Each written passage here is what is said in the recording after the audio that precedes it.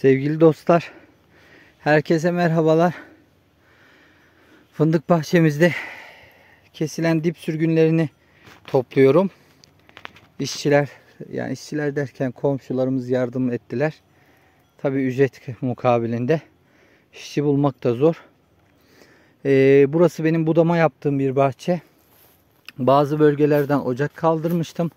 Dikkat ederseniz aralardan. Ee, buranın dip sürgününü ben alacaktım ama olmadı. Ee, şimdi ne yapıyorum? Başka bahçemize geçerken oraya baktım durum nasıl falan diye. Evet sevgili dostlar gerçekten özgür dallarda burada ben varım diye sadece ben varım diye denilen e, dallarda dallarda fındık verim çok iyi. Şimdi ne yapıyorum? Ben burada hiç fidan bırakmıyorum. Zaten mevcut dallar yine de fazla. Bırakmayın dememe rağmen bırakmışlar. Ben de geçerken bunları alıyorum sevgili dostlar. Mesela burada yoktu. Şimdi bir de bırakılırken şöyle bırakıyorlar sevgili dostlar. Bakın eski kökün dibinden bırakıyorlar. Zaten bu benim işime yaramaz. Olsa bile bağımsız kökten olması gerekir. Dediğim gibi böyle hatalar yapılıyor. Zaten mevcut dalımız fazla. Ocağın ortasında bırakılmış yine. Hemen onu da alıyorum. Bu şekilde mevcut dallarımızı güçlendirmeye bakın. Güzel bir saçaklanmış. Fakat burada zaten dal sayısı fazla. Ve dediğim gibi sevgili dostlar bakın eski kökün dibinden bırakılmış. Şimdi ne yapıyorum? Biraz ağzını büyütelim. Zaten bakın eskiden kök yüksek kesilmiş. Onun dibinden çıkmış. Bir dakika. Bakın. Eski kökün dibinden büyümüş. O yüzden dip sürgün alırken de yüksek bırakmamak lazım ki yeni çıkacak sürgünler oradan çıkmasın. Evet kontrollerimize devam ediyoruz. Bakın. Dallar da zayıf olduğu için meyve binince boşluklara yatmış. Sevgili dostlar. Bakın. Şöyle yakından da bakalım. Dediğim gibi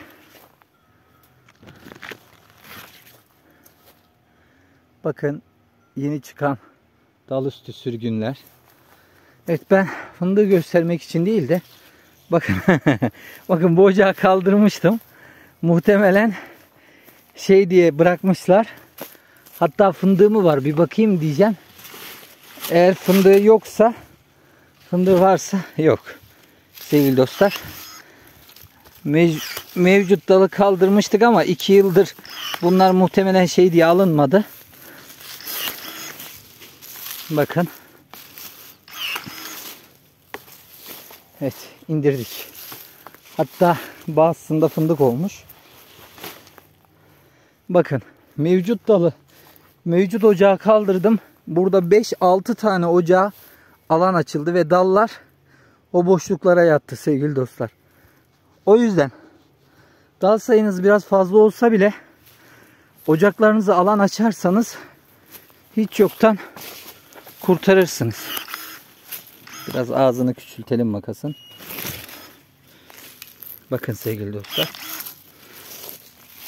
Bunlar gereksiz. Zaten mevcut dalım benim fazla.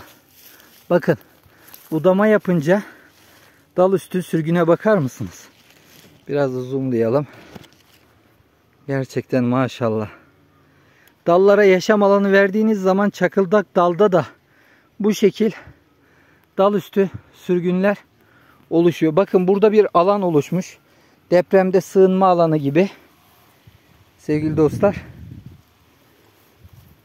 Ocak kaldırmaktan korkmayın. İnanın kaldırdığınız ocaktan daha fazla diğerlerinden alıyorsunuz. Evet neyse ben de geç kalmayayım. Bakın sevgili dostlar dalda gençleştirme belki bilerek yapılmamış burada ama şu dala vurmuş onu şuradan almam lazım. Bakın yeni bir sürgün çıkmış. Bir, bir tane de buradan çıkmış. İki, bu dalı oradan kurtarmamız lazım. Müsait zamanda onu da inşallah alacağız. Bakın dal üstü sürgünler. Şunların güzelliğine bakın. Budama yaparsak sevgili dostlar Burada yaklaşık 200 ocağı ben budama yaptım. Alanlarını açtım. İkinci yıl budamalarını da yaptım. Gerçekten Çakıldak'ta da verim fark ediyor. Geçen yıl buradan tam 60 Ocak kaldırmama rağmen eskisinden daha fazla fındık aldık sevgili dostlar. Bir dakika. Gider ki ağzı girsin. Bakın güzel bir şey yapmış ama gereksiz. Çünkü burada bakın mevcut dalım var benim. Hem de güzel de taşlanmış. Evet sevgili dostlar şöyle bir bakın bakalım. Alanlar açılmış. Dal sayısı yine fazla ama alan olduğu için o dallar o boşluklara yatmış sevgili dostlar. Herkese iyi çalışmalar diliyorum. Karşı taraftan bulut geliyor. Havalar bayağıdır bir 10 gündür buralarda kapalıydı bayramdan sonra. Birkaç gün hava 8-10 gün iyi gözüküyor. Bu süre zarfında iç doldurmaların bayağı tamamlanacağını düşünüyorum. Burada e, bu bahçede %50 iç doldurma var. Yani %50 derken e, fındık kabuğunun içinin yarısı ancak dolmuş. Bir 20 metre 30 metre aşağıdaki olan bahçemizde daha fazla dolmuştu sevgili dostlar.